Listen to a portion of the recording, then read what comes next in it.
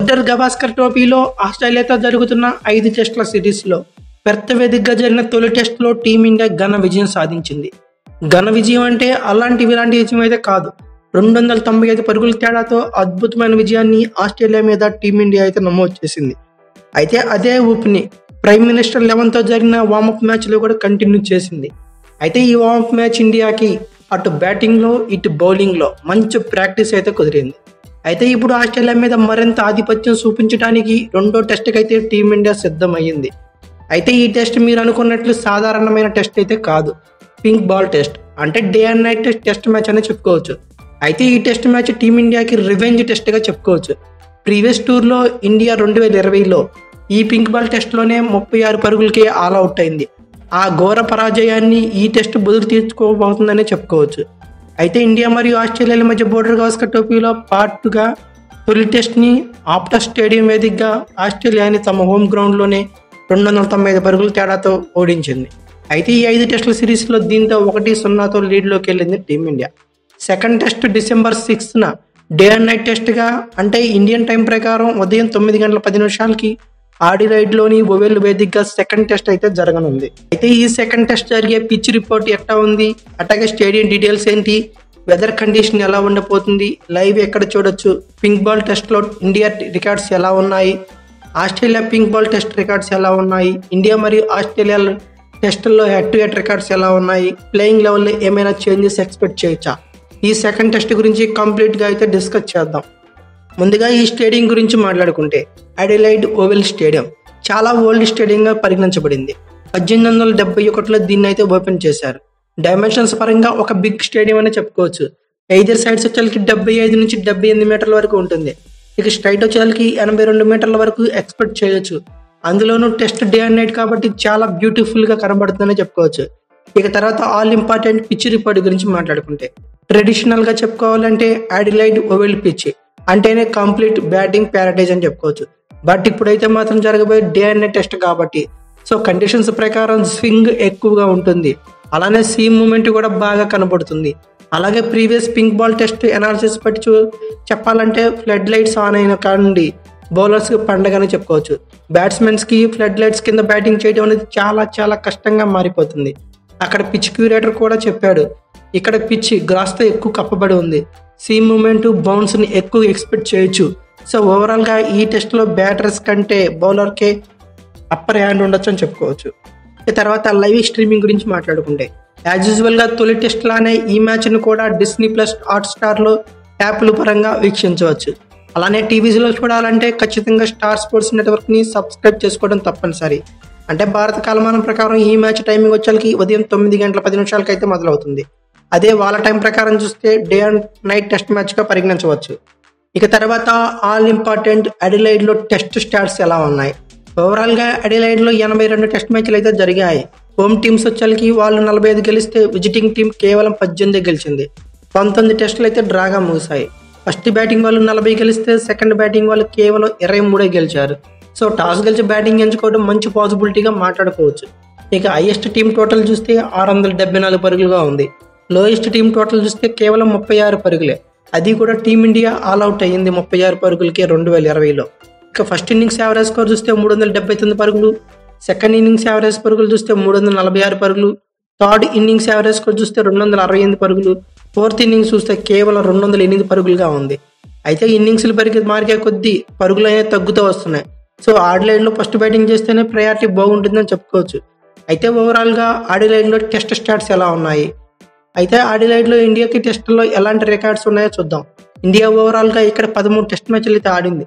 రెండు మాత్రమే గెలిచింది. అంటే ఆడిలైడ్లో టీమిండియాకి మంచి స్టాట్స్ అయితే లేవు. ఏకంగా ఎనిమిది టెస్ట్ మ్యాచ్లు అయితే ఓడిపోయింది. మూడు మాత్రం డ్రాగా ముగించగలిగింది. ఇండియా హైయెస్ట్ టోటల్ ఈ గ్రౌండ్లో చూస్తే ఐదు వందల ఇరవై ఆరు పరుగులకి ఆల్ అవుట్ అయింది. లోయెస్ట్ వచ్చేకి ముప్పై ఆరు పరుగులకే ఆల్ అవుట్ అయింది. మోస్ట్ రన్స్ వచ్చేకి ఈ గ్రౌండ్లో విరాట్ కోహ్లీ ఎనిమిది ఇన్నింగ్స్లో ఐదు వందల తొమ్మిది పరుగులు చేశాడు. హైయెస్ట్ స్కోర్ వచ్చేకి రాహుల్ ద్రావిడ్ పేరట రెండు వందల ముప్పై మూడు పరుగులతో ఉన్నాడు. మోస్ట్ వికెట్ రవిచంద్రన్ అశ్విన్ ఆరు ఇన్నింగ్స్లో కలిపి పదహారు వికెట్లు అయితే పడగొట్టాడు. అలాగే పింక్ బాల్ టెస్టుల్లో ఇండియా మరియు ఆస్ట్రేలియాల రికార్డ్స్ ఎలా ఉన్నాయి? ఇప్పటి వరకు పింక్ బాల్ టెస్టులు అంటే డే అండ్ నైట్ టెస్ట్లో టీమిండియా నాలుగు ఆడింది. నాలుగులో మూడు గెలిచింది ఒకటి ఓడింది. ఆ ఒకటి ఓడింది కూడా ఆస్ట్రేలియా మీదనే చెప్పుకోవచ్చు. ఆ టెస్ట్ మ్యాచ్లోనే ముప్పై ఆరు పరుగులకే ఇన్నింగ్స్లో ఆల్అవుట్ అయింది. ఇక తర్వాత ఆస్ట్రేలియా పరంగా చూస్తే ఓవరాల్గా పన్నెండు పింక్ బాల్ టెస్టులు అయితే ఆడింది. కేవలం ఒకటి ఓడి పదకొండు గెలిచింది. ఓవరాల్గా డే అండ్ నైట్ టెస్టుల్లో ఆస్ట్రేలియా ఆధిపత్యం కనబడుతుంది. బట్ మన వాళ్ళు ఉన్న ఫామ్కి అయితే అది పెద్ద అంశమనే కాదని చెప్పుకోవచ్చు. ఇక తర్వాత ఫైనల్గా ఇండియా మరియు ఆస్ట్రేలియా మధ్య టెస్టుల్లో హెడ్ టు హెడ్ రికార్డ్స్ పరిశీలిద్దాం.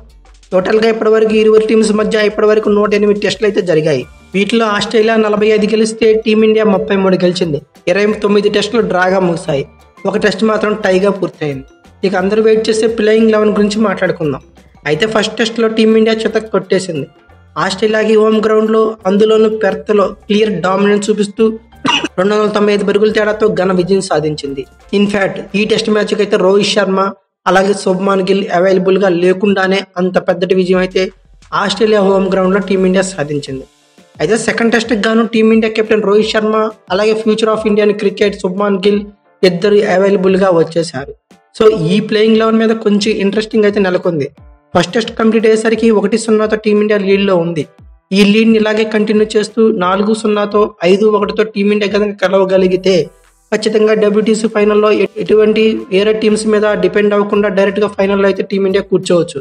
ఇది మూడోసారి వరుసగా డబ్ల్యూటీసీ ఫైనల్ సాధించాలంటే ఖచ్చితంగా ఈ సిరీస్ నాలుగు టెస్ట్ మ్యాచ్లు అయితే ఖచ్చితంగా టీమిండియా గెలవాల్సి ఉంటుంది. ఇక సో సెకండ్ టెస్ట్ మరింత ఇంట్రెస్టింగ్గా దీనివల్లే మారనుంది. అయితే second test day and night test కాబట్టి ఖచ్చితంగా మార్పులు ఎక్స్పెక్ట్ చేయొచ్చు. ఫస్ట్ టెస్ట్లో ఓపెనింగ్ చేసిన KL Rahul Yashasvi Jaiswal adventurous batting అయితే చేశారు. మెయిన్లీ పేస్కి సీమ్కి దాసోహంగా మారిన పెర్త్లో రాహుల్ జైస్వాల్ చాలా ఓర్పుగా సూపర్ బ్యాటింగ్ అయితే చేశారు. టీమిండియాని కంఫర్టబుల్ పొజిషన్స్లో అయితే ఉంచారు. అయితే ఇప్పుడు రోహిత్ శర్మ రాకతో ఓపెనింగ్ ఎవరు చేస్తారనేది చాలా ఆసక్తి అయితే నెలకొంది. అయితే కేఎల్ రాహుల్ జైస్వాల్లే ఓపెనింగ్ చేసే ఛాన్సెస్ మ్యాక్సిమం కనబడుతున్నాయి. ఎందుకంటే నిన్న ఇండియా మరియు ప్రైమ్ మినిస్టర్ లెవెన్ మ్యాచ్లో రోహిత్ శర్మ ఫోర్త్ స్పాట్లో బ్యాటింగ్ వచ్చాడు. కేఎల్ రాహుల్ జైస్వాల్కే ఓపెనింగ్ పేట అయితే వేశాడు. సో ఇది డెఫినెట్లీ గుడ్ థింగ్గా మాట్లాడుకోవచ్చు.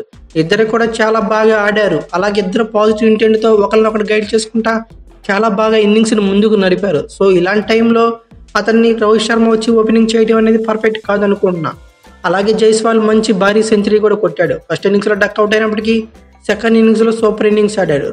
సో వీళ్ళ పొజిషన్ పెద్దగా చేంజ్ ఉండబోతుంది అనుకున్నా ఇక తర్వాత ఫస్ట్ డౌన్లో పడికిల్ ప్లేస్లో యాజ్ యూజువల్గా శుభ్మాన్ గిల్లే బ్యాటింగ్ చేయనున్నాడు.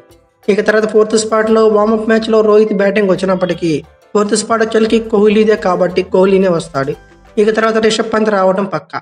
అంటే తర్వాత స్పాట్ వచ్చేకి సిక్స్త్ స్పాట్ పోయిన మ్యాచ్లో ధ్రువ్ జూరెల్ ఆడాడు. ఈ ప్లేస్లో ధ్రువ్ జూరెల్ రెస్ట్ ఇచ్చి ఆ ప్లేస్లో ఇక రోహిత్ శర్మ బ్యాటింగ్ వస్తాడు ఇక రోహిత్ శర్మ తర్వాత నితీష్ కుమార్ రెడ్డి వాషింగ్టన్ సుందర్లు మంచి బ్యాటింగ్ లైనప్ కనబడుతుంది. ఓవరాల్గా టీమిండియాలో ఎయిత్ స్పాట్ వరకు బ్యాటింగ్ లైనప్ ఉంది. ఇక తర్వాత యాజ్ యూజువల్గా ఫస్ట్ టెస్ట్లోనే బౌలింగ్ యూనిట్ ఉండనుంది. ఎటువంటి మార్పులు అయితే ఎక్స్పెక్ట్ చేయకపోవచ్చు. జస్మిత్ బుమ్రా హర్షిద్ రాణా మహమ్మద్ సిరాజులు పేస్ యూనిట్లు నడపనున్నారు. వీళ్ళకి తోడుగా నితీష్ రెడ్డి తన పేస్ ఆల్రౌండర్గా బాధ్యతలు స్వీకరిస్తాడు. ఇక్కడ నితీష్ రెడ్డి ఫస్ట్ టెస్ట్లో సూపర్ బ్యాటింగ్ చేశాడు. అలానే నిన్న ప్రైమ్ మినిస్టర్ లెవెన్లో కూడా సూపర్ బ్యాటింగ్ అయితే కంటిన్యూ చేశాడు. ఇక హర్షిత్ రాణాన్ని పక్కకు పెట్టి ఆకాష్ దీప్ ప్రసిద్ధ కృష్ణ ఆడిస్తారనేది ఎటువంటి డౌట్ అయితే పెట్టుకోవద్దు. ఎందుకంటే హర్షిత్ రాణా ప్రైమ్ మినిస్టర్ లెవెన్తో జరిగిన వార్మప్ మ్యాచ్లో నాలుగు వికెట్స్ సత్తా చాటాడు. సో ఈ పేస్లో ఎటువంటి మార్పులు అయితే ఉండకపోవచ్చు. బొమ్రా సిరాజ్ హర్షిత్ రాణా వీళ్ళే కంటిన్యూ చేయన్నారు. ఇక స్పిన్ ఆల్రౌండర్గా వాషింగ్టన్ సుందరే ఉంటాడని ఆల్రెడీ రిపోర్ట్స్ అయితే చెప్తున్నాయి. ఓవరాల్గా ప్లేయింగ్ లెవెన్లో రోహిత్ శర్మ శుభ్మాన్ గిల్ ప్లేస్ మాత్రమే రీప్లేస్ అవనున్నాయి. ఓవరాల్గా వీళ్ళ ప్లేయింగ్ లెవెన్ మనం పేపర్ మీద పరిశీలిద్దాం. KL Rahul SSV Jaiswal Shubman Gill Virat Kohli Rishabh Pant Rohit Sharma Nitish Kumar Reddy Washington Sundar Harshit Rana Jasprit Bumrah Mohammed Siraj ఇలా ఉన్నారు. ఇది నా ఒపీనియన్ మాత్రమే. మీ ఒపీనియన్ ప్రకారం ఆస్ట్రేలియాతో అడిలైడ్ వేదికగా జరగబోయే సెకండ్ టెస్ట్కి మనం ప్లేయింగ్ లెవెన్ ఎలా ఉంటే బాగుంటుంది అనుకుంటున్నారో ఎటువంటి మార్పులు జరుగుతాయి అనుకుంటున్నారో కామెంట్ బాక్స్లో ఖచ్చితంగా పిన్ చేయండి. అలాగే ఈ వీడియో కనుక మీకు నచ్చినట్లయితే like share comment plus subscribe చేసుకోండి. అలాగే పక్కనే ఉన్న బెల్ ఐకాన్ నొక్కడం మాత్రం మర్చిపోకండి. Thank you for watching. Have a nice day.